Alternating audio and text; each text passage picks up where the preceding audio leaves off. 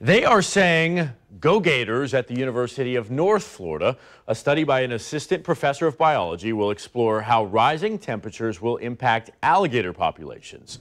So as part of Dr. Adam Rosenblatt's study, 400 alligator eggs will be exposed to heat on the UNF campus. So we want to welcome Dr. Rosenblatt this morning and talk to you just a little bit more about why you are doing this. First of all, so many different animals that you could study.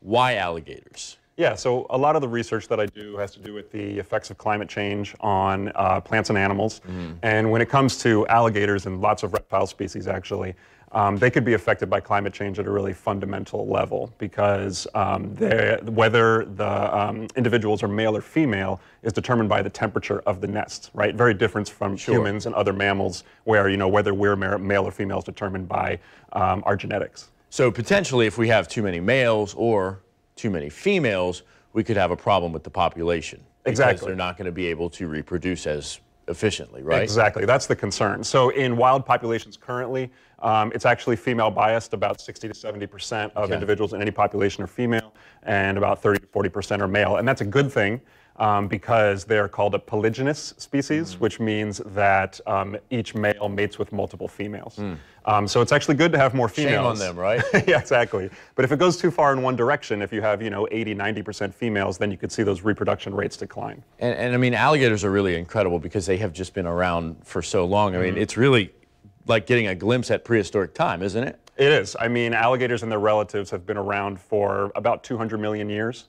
Um, and so, I mean, that's just really impressive. And also, they're you know one of the most iconic species in Florida, right? They're they're sort of part of our state identity. Mm. And so, if th those populations were to start to decline, I feel like it would affect us at a very uh, uh, raw level. so, what is the latest as far as population? I mean, are the numbers good? Are they right? Are there too many? Are there too few in the state of Florida? What are we uh, looking at? I don't want to speak for you know Florida Fish and Wildlife. They're the ones who sort of run those numbers, but I have colleagues there, and from what I've heard, the population is very stable, very healthy um, at about you know one and a half million individuals.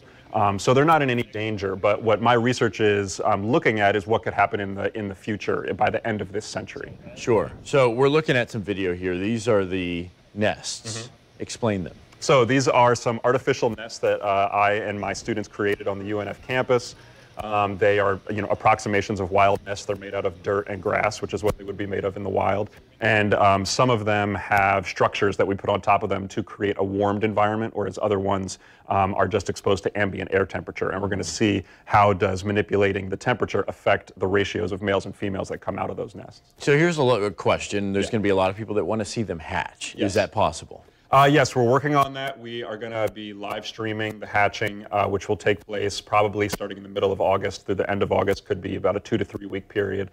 Um, and so I am planning on setting up a live stream, and I'll be uh, okay. uh, putting information on my website about that. All right, we'll probably show that right here on Channel 4 as well. I hope so. Is that going to be like a long process? Is it like watching paint dry, or?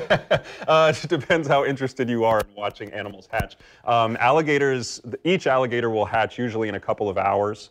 Um, some, you know, a little bit slower, and then all of the eggs in one clutch, one nest, will usually come out within a day. Mm-hmm. Um, but these clutches that I'm hatching on the UNF campus, they are going to be staggered. They're not all going to hatch on the same day. Sure. So there's going to be a two or three week period where people can tune in and see what's going on. And finally, what's going to happen after they hatch and you have baby alligators? So after they hatch, these these eggs are from Louisiana, mm-hmm. and I'm going to be returning the hatchlings to Louisiana. They're going to go back to a wildlife refuge there and just released. That's after you study the gators because you got to find out if they're male or female. Exactly. We're going to figure out if they're male or female. We're going to measure their size, um, and then we're going to return them to the wild.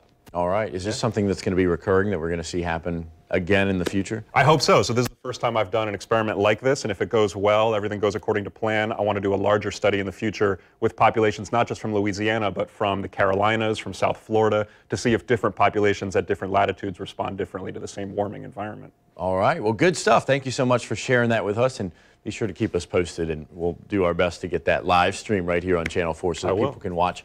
Maybe we'll get a little action. Maybe we'll actually see some hatching instead of just, just the eggs sitting there in the nest. Dr. Rosenblatt from UNF, thank you. Thanks for having me.